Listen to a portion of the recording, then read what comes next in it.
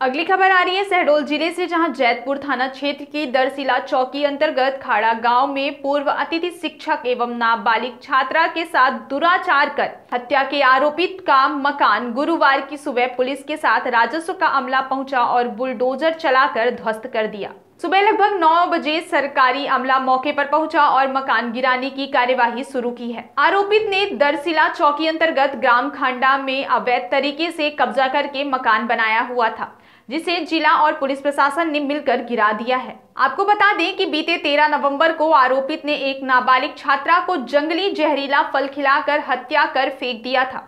जब यह अतिथि शिक्षक था, उसी समय छात्रा को अपने प्रेम प्रसंग में फंसाया और जब छात्रा ने शादी करने के लिए दबाव बनाया तो उसे रास्ते से हटाने के उद्देश्य से हत्या कर दी। कुएँ में सब मिलने के बाद पुलिस ने छानबीन के दौरान आरोपी को गिरफ़्तार किया।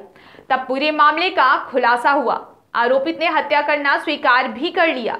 और वह अभी जेल में हजयपुर थाना प्रभारी भानु प्रताप सिंह ने बताया कि पुलिस अधीक्षक कुमार प्रतीक एवं जिला प्रशासन के निर्देश पर आरोपित के मकान को ढहाने की कार्यवाही की जा रही है। थाना प्रभारी ने बताया कि यह जघन्य अपराध की श्रेणी में आता है, जिसके खिलाफ कड़ी से कड़ी कार्यवाही करने के निर्देश मुख्यमंत्री ने दिए हैं। उन्हीं की गाइडलाइन के आधार पर आरोपित के खिलाफ कड़ी कार्यवाही की जा रही है, ताकि कोई इस तरह के अपराध करने से पहले दस बार सोचे।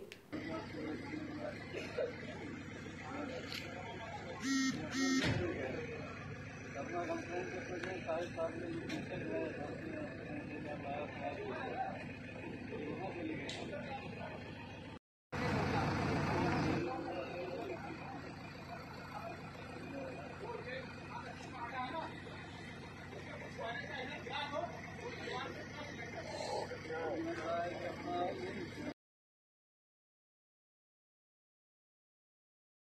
नमस्कार रीवा। मैं हूँ भानु पंडित। और मैं हूँ अनीता भट्ट और हम आ रहे हैं आपके शहर रीवा 11 दिसंबर 2022 को।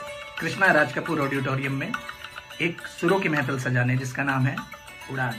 शाम गज़ल। एक शाम सूफी संगीत के नाम में अपनी प्रस्तुति देने के लिए। तो हम चाहते हैं कि आप सभी आए वहाँ पे इस संगीत में शाम का हिस्सा बनने के लिए।